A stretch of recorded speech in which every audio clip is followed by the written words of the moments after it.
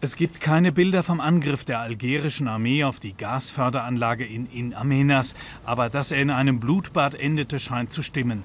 Dutzende tote Geiseln und tote Geiselnehmer, diese erschütternde Bilanz meldet die mauretanische Agentur ANI. Sie ist die einzige Quelle, ihre Angaben sind nicht überprüfbar, ihre Informationen bekommt sie angeblich von den Terroristen selbst. Was sich hier wirklich abspielte, bleibt unklar. Sicher ist nur, einige Geiseln konnten fliehen oder befreit werden, darunter auch ein Ire, dessen Sohn am Nachmittag davon erfuhr.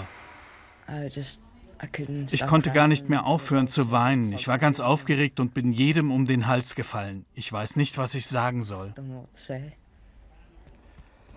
Im algerischen Fernsehen zeigen die Nachrichten nur Material aus dem Archiv. Die Informationspolitik der Regierung ist so undurchsichtig wie ihre katastrophale Taktik rund um das Geiseldrama in der Wüste.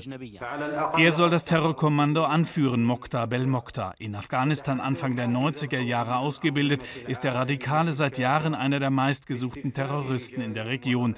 Er will die Franzosen so zum Rückzug aus Mali zwingen.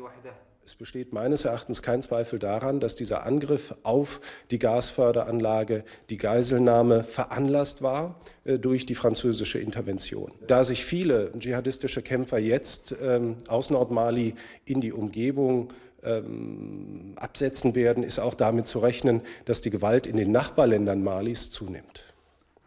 Zum Einsatz in Mali aber gibt es für die internationale Staatengemeinschaft keine Alternative.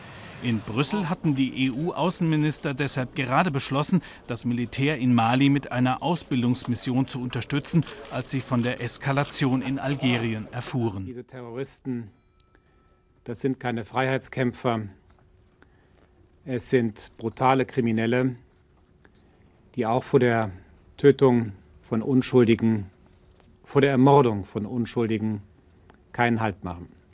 Auch Franzosen und Briten sollen unter den Geiseln in der Anlage sein. Entsprechend besorgt zeigten sich die beiden Nationen am Abend. Ich wende mich an Sie in einem Moment außergewöhnlicher Intensität. Der Befreiungsversuch scheint unter dramatischen Umständen zu verlaufen. Es ist eine sehr gefährliche, unsichere, eine Situation mit offenem Ende. Ich glaube, wir müssen uns auf sehr schlechte Nachrichten vorbereiten.